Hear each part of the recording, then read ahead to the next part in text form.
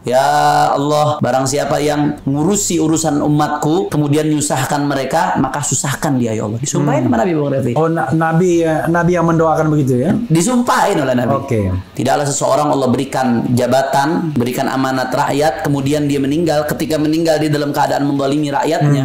Yang mendolimi ini bisa emang dalam keadaan dia sedang mendolimi atau dia belum bertobat dari kedoliman tersebut. Nah, dia belum menghalalkan karena kan mazalim ini berkaitan dengan mazalim. Illa haramallahu alaihi jannah. Kecuali kalau dia meninggal dalam keadaan mendolimi rakyatnya, maka Allah haramkan baginya surga. Allah haramkan baginya surga. Nah, makanya pemerintah ini bersyukur uh, Imam besar kita Habib Rizik ini akidahnya Asy'ari. Akidah metode apa ideologi beliau Asy'ari, Syafi'i. Dalam Asy'ari itu uh, berontak kepada pemerintah yang sah itu diharamkan, Haramkan. tidak diperbolehkan. Asy'ari, Syafi'i.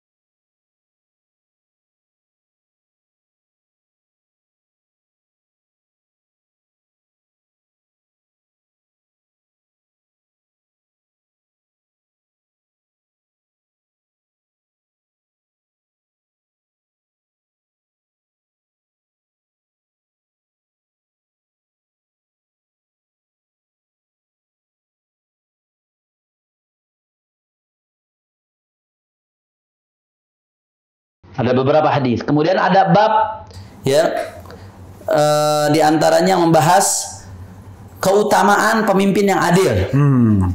dan larangan hukuman uqubatul jair dan hukuman ancaman bagi pemimpin yang zalim. Hmm.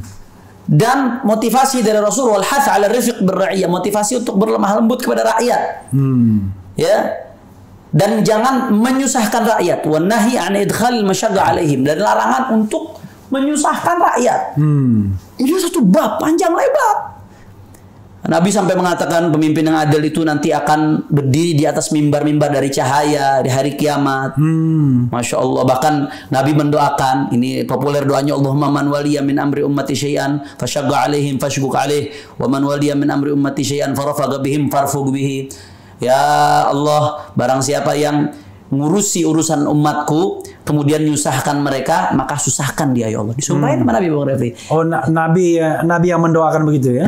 disumpahin oleh Nabi Oke.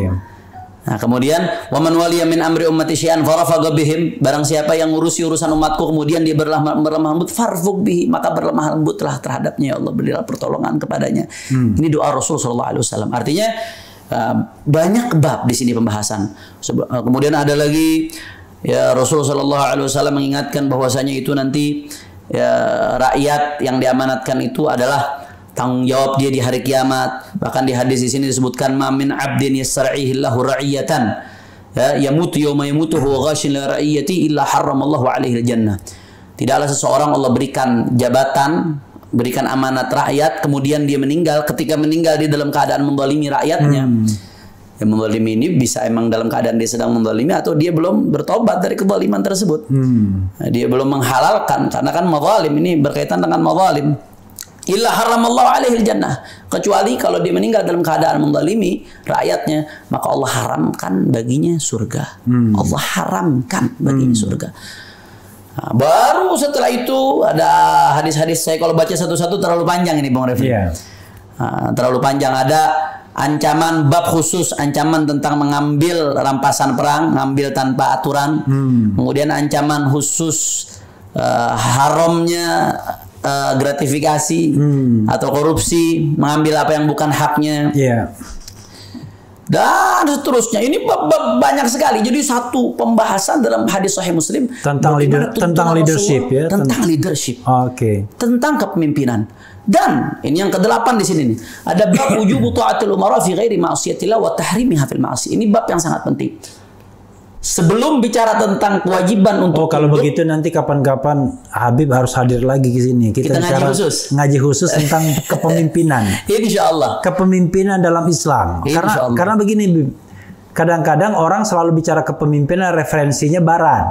Ya. kan biasanya kepemimpinan IBM kan kayak Ya. gitu-gitu ya kepemimpinan perusahaan-perusahaan besar tapi kepemimpinan yang dimensinya horizontal dan vertikal horizontal nah itu yang yang Ini kita sangat nggak dapat. penting. ya Dan Rasulullah memiliki perhatian khusus Ya. terkait masalah ini sampai hadisnya begitu banyak yang membahas tentang jadi ini. leadership itu tidak hanya dipandang dari keberhasilan horizontal duniawi tapi juga Ah, vertikal vertikal keberhasilan. Bagaimana dia pertanggungjawabannya di hadapan Allah Oke, Subhanahu wa tapi taala. singkatnya Bib, eh, apa makna bahwa punggungnya dipukul, hartanya diambil tetap patuh itu maksudnya apa? Nah, ini dia? Bung Refli. Iya. Saya lanjutkan sedikit lagi ya. silakan. Ada bab lagi yang nggak kalah pentingnya. Sebelum bab yang memuat hadis tadi. Iya. Bab tentang wajibnya patuh kepada pemimpin di selain maksiat. Hmm. Wa tahrimu hafil maksiat dan haram kita patuh pemimpin kalau uh, dia memerintahkan kita untuk melakukan kemaksiatan. Oke. Ya, di awal bab tersebut uh, Imam Muslim memuat satu had- uh, ayat dari Allah Subhanahu wa taala ya ayyuhalladzina amanu atiullaha wa atiur rasul wa ulil amri minkum. Patuh taatlah kamu kepada Allah, patuh taatlah kamu kepada Rasul. Kemudian wa ulil amri minkum. Dan uh, ulil amri ini ada yang mengartikan umara dan itu tafsiran daripada banyak ulama, ada juga yang mengartikan maksudnya ulil amri adalah ulama. Nah, tapi ya memang yang setelah saya teliti banyak sekali yang mengartikan itu adalah umara. Nah, umara di antara kalian, para pemimpin di antara kalian. Nah, Syekh Mutawalli Asy-Sya'rawi itu membahas ayat ini. Kata Syekh Mutawalli Sya'rawi ulama besar di Mesir yang wafat di abad eh, 20 ini, Oke. ulama besar. Yang ditonjolkan cuma patuh ulil amrinya saja. Banyak orang yang jualan ininya saja. Hmm, Oke. Patuh kepada Allah dan patuh kepada Rasulnya kok nggak ditonjolkan. Padahal Oke. kepatuhan kepada ulil amri ini terikat dengan kepatuhan I kepada Allah dan. Rasulnya. Iya. Nggak mutlak.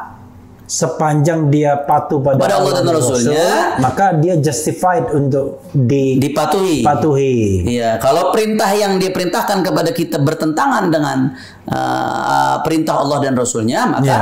seorang Muslim dia Hmm. tidak boleh melakukan kemaksiatan, uh, mem- melaku- mematuhi sebuah kemaksiatan yang diperintahkan atasnya. Oke. Jadi kepatuhan kepada Allah dan Rasul itu sifatnya mutlak, Hmm. tapi kepatuhan kepada ulil amri terikat Relatif ya. relatif terikat Ya. kepada kepatuhan kepada Allah dan Rasul. dan Rasulnya. Nah, ini ada panjang lebar di sini.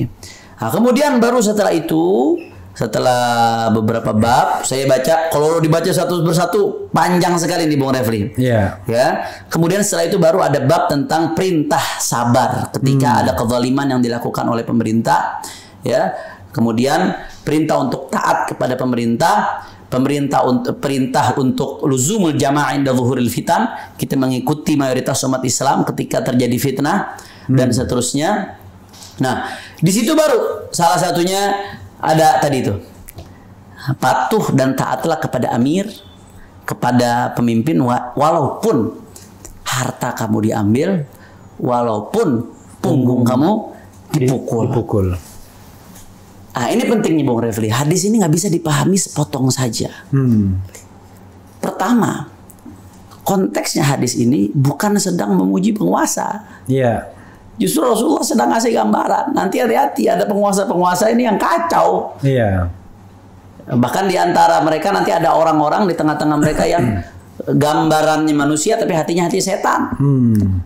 Nah, kalau terjadi itu maka bagaimana? Nah, saya merujuk ke syarahnya Al Imam Nawawi. Jadi Imam Nawawi syarahi hadis bukan hanya hadis ini tapi hadis dalam bab ini Hmm. secara keseluruhan. Apakah maksudnya kita nurut-nurut saja kalau disuruh untuk melakukan kemaksiatan? Apakah maksudnya kita nurut-nurut saja walaupun dia salah? Hmm. Apakah seperti itu? Nah, Al-Imam Nawawi mensyarah ra- mensyarahkan rangkaian hadis-hadis ini menjelaskan. Beliau mengatakan dalam syarahnya Nawawi seorang ulama besar dalam ilmu hadis, Iya. diakui kepakarannya dalam dunia Islam. Beliau mengatakan dalam salah satu hadis lainnya, ya la tunazi'u ulatal umur fi wilayatihim wa la ta'taridu alaihim illa an taru minhum munkaran muhaqqaqan ta'lamunahu min qawaidil islam.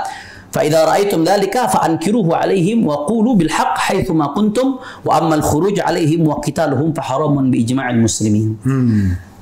Jadi kita jangan menentang pemerintah kecuali kalau kamu melihat benar-benar ada kemunkaran yang jelas.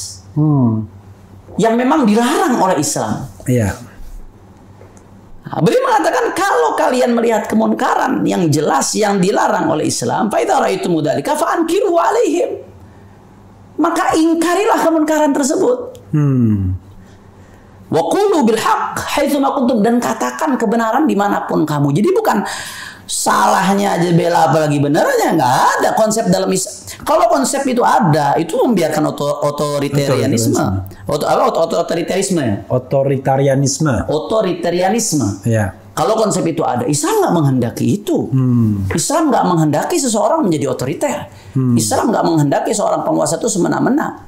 Nah, makanya di sini Menawi menjelaskan dari rangkaian-rangkaian hadis tadi ya kalau kalian lihat ada pemimpin selama dia masih muslim nah ini saya garis bawahi selama dia masih muslim beda halnya kalau udah non muslim seperti zaman penjajahan Iya. pemimpin non muslim makanya ulama-ulama kita melakukan perlawanan Iya. Nah, itu nggak bisa dikatakan sebagai sebuah pemberontakan. Ya. Itu perintah daripada Rasulullah SAW. Illa antara minhum kufran bawah. Indakum minallah fihi burhan. Nah, ya. Tapi selama dia masih muslim, ya, maka kewajiban kamu kalau lihat kemungkaran, ingkar. Amar ma'ruf nahi munkar. Luruskan, tegur, sampaikan kebenaran. Hmm. Ini penafsiran dari rangkaian hadis-hadis tadi. Iya. Tapi wa ammal khuruju alaihim adapun berontak terhadap mereka Iya.